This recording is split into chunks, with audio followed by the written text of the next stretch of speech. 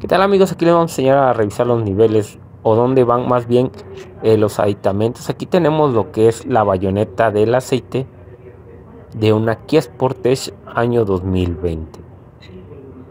Enseguida tenemos lo que es el tapón del aceite. Aquí se le echa el aceite y nos dice qué tipo de densidad de aceite se le debe de echar. Normalmente estas unidades llevan 5W30 Aquí está el depósito de lo que es el limpia parabrisas. Ahí se le echa eh, cuando ya no tiene. Este es el depósito. Aquí tenemos lo que es el depósito del anticongelante. Normalmente tiene máximos y mínimos. Ahí se ven letras negras, máximos y mínimos. Este es el tapón del depósito del anticongelante. Se debe checar cuando esté en frío. Con cuidado amigos.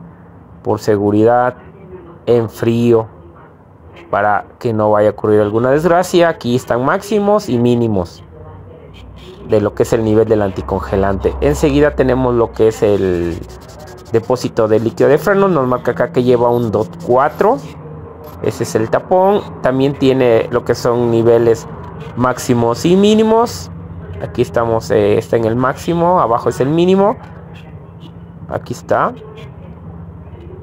y ahí es donde se le pone lo que es el líquido de freno. Se quita el, el taponcito para poder realizar lo que es el cambio de líquido de frenos o agregar líquido de frenos. Si es que falta ese momento es una Kia Sportage año 2020